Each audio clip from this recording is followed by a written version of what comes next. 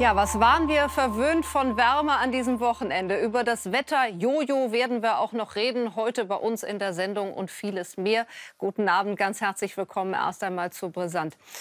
Ja, doch erst einmal überschlagen sich die Dinge in St. Petersburg. Dahin deshalb zuerst heute bei uns in der Sendung. Es ist furchtbar, was wir heute Nachmittag von dort hören. Es ist wieder ein Tag, an dem Unschuldige sterben und verletzt werden. Diesmal war das Ziel die U-Bahn von St. Petersburg. Es ist von vielen Toten und auch von vielen Verletzten die Rede inzwischen. Erst war die Ursache noch nicht so ganz klar, aber inzwischen fällt immer wieder der Begriff Bombe. Wir tragen zusammen, was wir bislang wissen aus St. Petersburg.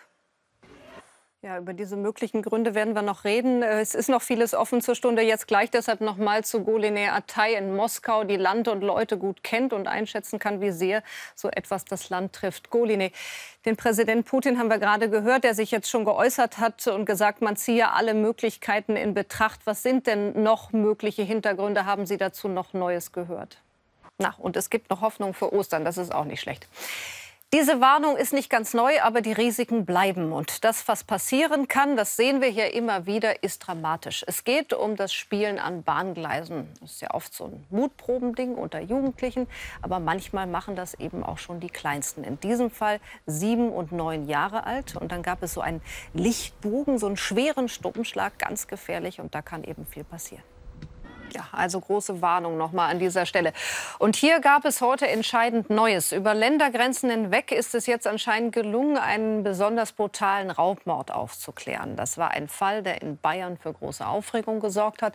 Zwei ältere Menschen wurden damals getötet. Die waren zu Besuch bei einer Freundin auf einem Hof. Und jetzt hat eine kleine DNA-Spur die ganze Sache einen großen Schritt weitergebracht und zu einem Verdächtigen geführt und damit dann zu einer ganzen Bande folgende Situation. Stellen Sie sich mal vor, Sie fahren über die Autobahn und Ihnen kommt auf Ihrer Spur ein Flugzeug entgegen. Gut, das sind die Geisterfahrer, mit denen man doch eher selten rechnen muss. Aber sowas kommt vor, dass es zu Notlandungen kommt auf der Autobahn. Aktuelles Beispiel diesmal bei Barcelona. Und auch in Deutschland hat solche Fälle schon gegeben. Also letzter Ausweg Straße. Für die Piloten oft die letzte Chance mit großen Risiken für alle Beteiligten. Diesmal war es allerdings Ganz erstaunliche Maßarbeit.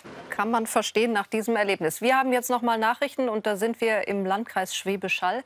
Da sind viele Tiere bei einem Feuer verendet und jetzt geht es um die Frage, wie es überhaupt zu diesem Brand kommen konnte. Und dann ist es ein trauriges Jubiläum, auf das wir heute schauen. 15 Jahre ist es jetzt her, dass am Erfurter Gutenberg-Gymnasium der 19-jährige Robert Steinhäuser schwer bewaffnet in diese Schule läuft und dort 16 Menschen erschießt. Aus Rache und Hass auf Lehrer, so wird das später erklärt. Zuvor war Robert Steinhäuser nämlich von der Schule geflogen wegen gefälschter Krankschreibungen und schlechter Leistung. Was hat dieser Amoklauf an Schulen verändert? Was läuft heute anders an Schulen, aber auch bei der Polizei? 15 Jahre danach ist dieser erste schwere Amoklauf an einer deutschen Schule noch bei vielen in Erinnerung wie der Beginn von etwas Neuem. Ja, und da sind wir. Stellen Sie sich vor, Bob Dylan ist wieder aufgetaucht und wir können es kaum glauben, wo in Schweden. Ja, der zögerliche Nobelpreisgewinner, manche nennen ihn ja sogar schon das Phantom, ist nach Schweden gekommen und hat sich angeblich sogar mit dem Nobelpreiskomitee getroffen. Allerdings hat das fast keiner gesehen. Er hat auch ein Konzert gegeben, also zumindest glauben viele, dass das war.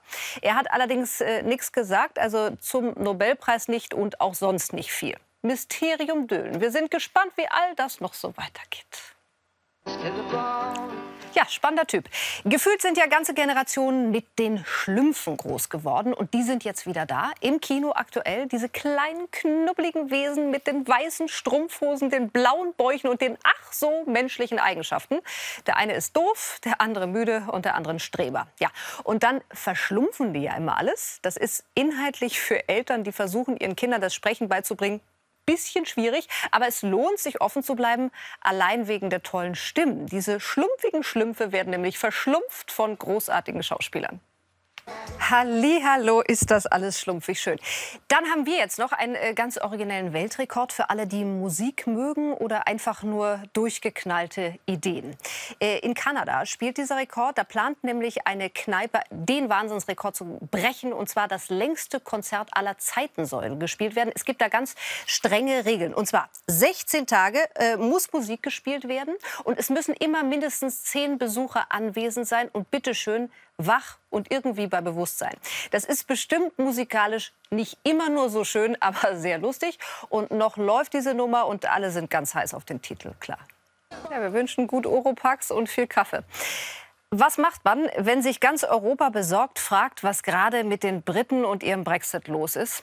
Ganz einfach. Man schickt die schönste Visitenkarte los, die so ein Königreich hat. Bitte schön. Das sind natürlich die Royals. Prinz Charles, hier gerade mit Camilla, ist aktuell auf Kuschelkurs in Europa unterwegs, eben gerade in Italien. Und da war die Herzenswärme des Thronfolgers gefragt und der Prinz blieb nichts schuldig.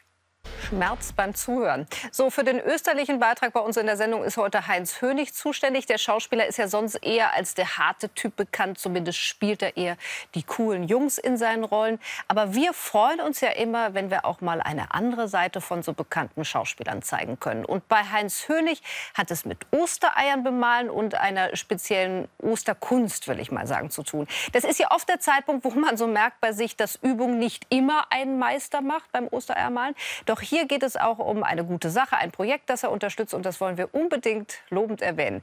Aber jetzt sehen wir uns erstmal die gesammelten Werke an. Vielleicht sind sie nicht unbedingt schön, aber selten wir konnten die sensible Bastelseite von Heinz Hönig kennenlernen. Das ist auch mal was Schönes. Das war's fürs Erste von uns an diesem Montag. Morgen sehr gern mehr. Und jetzt äh, folgt Alexander Bommes. Der hat sicherlich seine Ostereier noch nicht beisammen, aber seine Quizkandidaten. Viel Spaß jetzt mit gefragt, gejagt. Und wir gern morgen wieder. 17.10. Wir lernen noch die neue Zeit. 17.10. Morgen wieder. Schönen Abend. Tschüss.